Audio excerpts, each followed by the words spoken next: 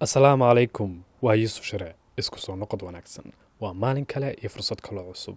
Maantana waxa aynu u kici timaynaa dhankaas iyo maama africa.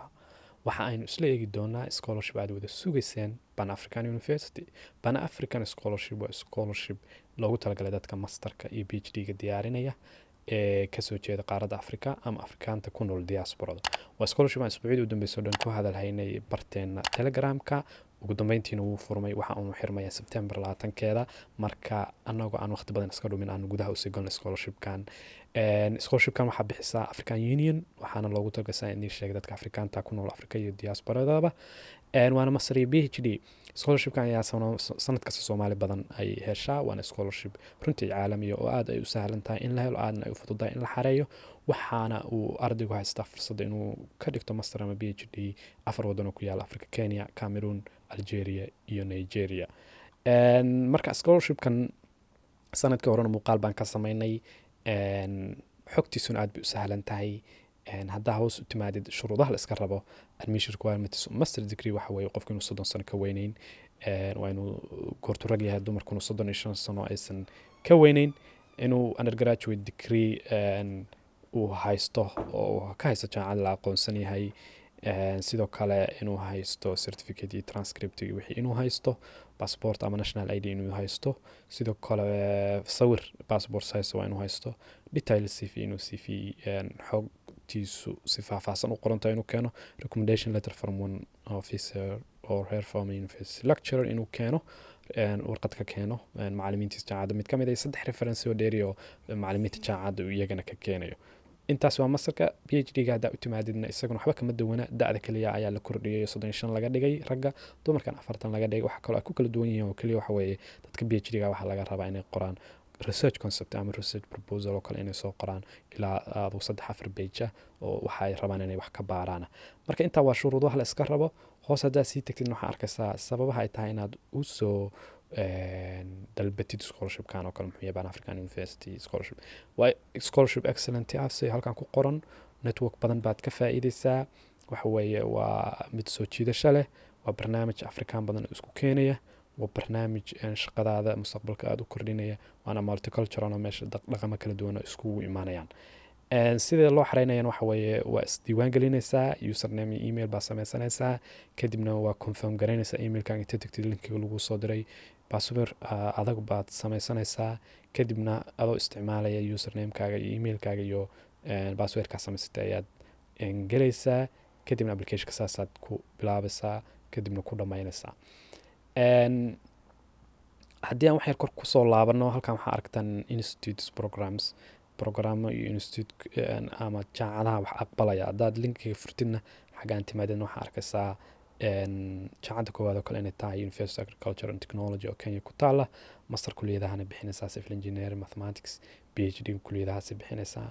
Waxaa xigta jaamacaddan ku taala ibadan oo nigeria. Ah master kuliyadahana bixinaysaa b h d kuliyadahana bixinaysaa ban african university oo iyadana cameroon ku taala master kuliyadahana bixinaysaa b h d kuliyadahana bixinaysaa tan u dambeysan oo iyadana algeria ku taala waa master kaliya kuliyadahana bixinaysaa marka iyagana isha mariya qof kasta ha eego kuliyadda aad rabtid ma ku jirta ama master ha ama b h d ha ahaatee kadibna shuruudihii kale oo aan hadda soo akhrinin goorta la kulantid waad tiraahda okay dokumentiyadeeda waa haystaa waxaanu dhan waan la kulmay shuruudahan yaryara hoos ku qoran. Muuqaalkan waa daawan kartaa wuu kuu sharaxayaa qaabka loo xareynayo anuguna waaba ina tusaya register baa dhahaysaa ciwaan baa sameysanaysaa login baa dhahaysaa kadibna waa kana goorta login tirahdeed xaggaanu ku keenaya kow labo saddex afar shan lix toddoba. Toddobadaa qodob baa runtii aad buu sahlanay hadda kahor muuqaal baan ka sameynay haddana haddaan isha isla institute kale haddaa u timaadid waxaad dooranaysaa kaad doonaysid jaamacadaad doonaysid iyo waddanku ku yaallo. Kadibna levelkaad dooranaysaa master b h d midku yahay. Maadadaa sii dooranaysaa. Transcriptiga jaamacaddaa gelinaysaa. Haddaa b h d tahayna proposalkaagii ama concept notekuba xaggan gelinaysaa. Kow taas waa taas.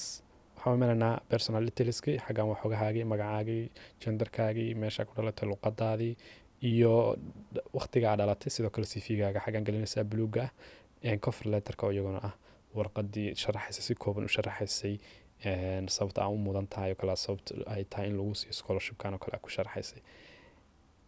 Identityga u imaanana meeshaan waxa weeye passport ama national id midka haysid baa gelinaysaa nambaradiisa xaga gelinaysaa waqtiga uu dhacay waqtiga iyo koobigiisa. Baad halkan gelinaysaa. Halkaana sawir baa gelinaysaa inay soo sheegin sawir passport size baa la rabaa. Intaasna waa sidaa fudaydka. Xaggan contactskaaga gelinaysaa haddii ilaahay idmayo meeshaad degan tahay adresskaaga numberka meelaha lagala soo xiriiri karo emailada social mediahaaga ma handleska gelis sida facebook twitter haddaa isticmaashid recommendation and references xaggan hal recommendation baa laga rabaa. One sign recommendation letter Een, phd gana labaa laga rabaa meeshan referenceskuna iyagana waa hoos bay ku sii qoran yihiin oo ilaa adugu waa kuwaana referenceska saddex baa la iska rabaa macalimiin caadi ay ku soo qoraan. Marka recommendation references iyagana isha ha lagu hayo hala sii doonto macalimiinta jaamacadaha lala xiriiro si looga helo warqadahan. Halkaana digrigaagii baa gelinaysaa lan haddaa master xarinaysa waa inaa bachelorskaaga keentid haddaa b h d xarinaysid waa inaa masterkii keentid xaggaas baad marka gelinaysaa dokumentiyada digriga haddaa mid ka badan haysatidna iyagana waa gelinaysaa. Haddii aad kuwa kaloo dheeri haysatidna ad baad dhahaysaa saasaad ku soo gudbinaysaa shahaadooyinkii jaamacadahaaga information dheeriya haddii aa haysid sida luqada dheeriya haddaa haysid oo kale yes baa dhahaysaa. Xaggaana ku guraysaa. Haddii professional experience aa leedahay soo shaqaysay khibradaadii yes inta tirahdid baad waxaad samaynaysaa een, la wadaagaysaa dadka oo xaggaanaad gelinaysaa ma garat marka iyaduna waa very simple oo waxa weeye yes goorta tirahdid ba- daaqadaana furmaysa iyaduna saas u buuxinaysaa wixii aa haysatid. Marka waa saan idiin sheeg waa toddobada qodob Een, aad bay u sahlan yihiin.